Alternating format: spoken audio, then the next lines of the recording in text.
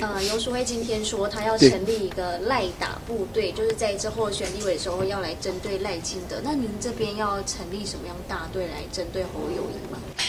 其实，呃，我们浮选各自的总统候选人，那不一定说要去打对方啦。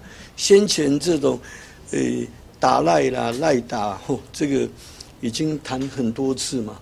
但是他们好像也没有具体提出什么样的。就是针对赖清德的部分，呃，想要质疑或攻击的部分，因为好，所以我是觉得，其实专门成立什么样的部队后，不是那么大的意义了。像我们民进党，哎，他成立打赖部队，那我们也可以成立抓猴部队喽。哦，这但是我们不这么做嘛，不这么做。哦，哎，又不是，那那国呢？抓猴，所以你是已经预言之国猴了？不是，我的意思说。他们说打赖嘛，哦，那他们可以成立打赖部队，那我们民进党也可以成立抓猴部队喽。但是我们不这么做嘛，哦，我是觉得说，要真的对手有什么样，呃，具体的认为，比方说政策上、方向上，哦，那么有哪一些他认为是不对的，针对问题来打就好，哦，那么。特别成立一个部队，那针对个人打，我倒是觉得，因为选民也不喜欢这样子嘛。哦，大家要就事论事，但是呃，游淑慧应该是不得已的啦，可能是他们党要求的，要不然以游淑慧的个性哈，他应该也是就事论事，他不至于说要去成立这样子的部队，嘿。一场最快乐的选战，就是有团队的合作跟支持。谢谢你们，谢谢。好，呃，我过去讲话很少看稿哈，但今天有点紧张哈，我们还是看着稿来讲哈。真的难得。对对对，有一点害怕啊。呃，各位四零大同的好朋友，大家好，我是游淑慧。或许四林大同的朋友对于游淑慧还比较陌生。我希望透过今天的这场记者会，透过今天的这个参选，未来的七个月里面，我可以让四林大同的朋友知道游淑慧可以为你们做什么。游淑慧决定。接受市党部的这个征召，哈，投入台北市第二选区大同市林的立法委员选举。投入这个选区，不是只是想为国民党多一席席次，而是想给大同市林的朋友可以多一个选择，一个比较。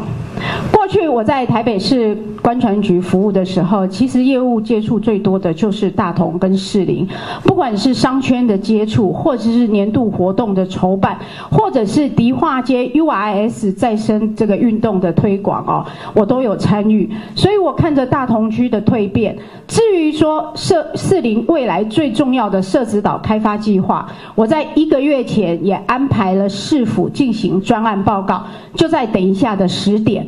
所以所以欢迎所有关心社子岛开发计划的朋友，都可以透过这场专案报告在网络上直播哦。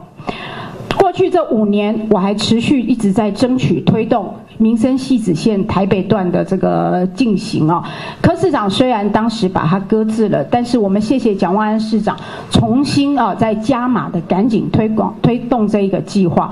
我们知道这个民生西子线台北段起站就是大同的这个大道城，而尾站就是我们内湖的东湖站哦。我未来希望尽速的推动民生西子线的这个开工以及规划的通过，串起内湖跟。是大同。当然，到一个最艰困的选区挑战一个最强的候选人哦，对我来说需要很多的勇气。但是我常常说，狭路相逢勇者胜，勇者相逢智者胜哦。这一场选举，我们不但需要勇气，而且需要智慧。更重要的是，我们需要众人之力。今天我们国民党的大同四零的，不管是在地的议员，在地的我们妇女团体，以及民众服务社，还有区党部的这个这个主委，都来到现场。我们就是要跟大家宣誓，我们要让大同四零有一场不一样的元素，不一样的改变。昨天世坚大哥说他在大同已经二十年了，是的，正因为您在大同已经二十年了，所以你可以做什么，你做得了什么，其实大同民众都已经知道。大同区、士林区如果想要新的改变、新的变化，我们就需要投入新的元素，而游淑会就会是大同士林新的元素。我会全力以赴。至于说我内湖南港的服务团队，服务也一定会继续配合燕秀，我们用国民党的联合服务。帮助燕秀姐打赢内湖南港，拿回内湖南港这一席，所以我要谢谢所有大同市领好朋友，可以借这个机会认识游淑慧。我也要谢谢所有内湖南港的好朋友，在过去五年一直支持着游淑慧，包括昨天晚上我跟我的助理啊，我们都分别在对说大同这个我们内湖南港的一些支持者的这个反应跟想法，结果非常让我们意外的，我们内湖南港很多里长都。跟我讲加油，我也跟大家开玩笑说，今天帮我加油，明天陪我扫街哦。所以非常谢谢内湖南港的我的长期支持我的里长也好，或支持者也好，我会全力以赴哈。虽然蜡烛两头烧很累，但是我想国民党二零二四的这一场选战，没有人可以置身事外啊。我们都是球员。教练要要我们什么时候上场，我们就要什么时候上场。教练希望我们担任什么样的位置，我们就必须要办做好那一个位置的攻攻守哦。所以拜托大同四岭的这个好朋友们哈，过去虽然说这个选区长期以来比较支持民进党，但是我希望大家重新再思考一下，是不是给大同四岭一个新的选择？谢谢你们，谢谢。好，谢谢谢谢楚会员。其实我台语真好哈，我应该讲一段台语较对哈。两见面来，咱家世间大哥哈，狭路相逢的时阵，那也使练一下台语嘞哈。谢谢。好。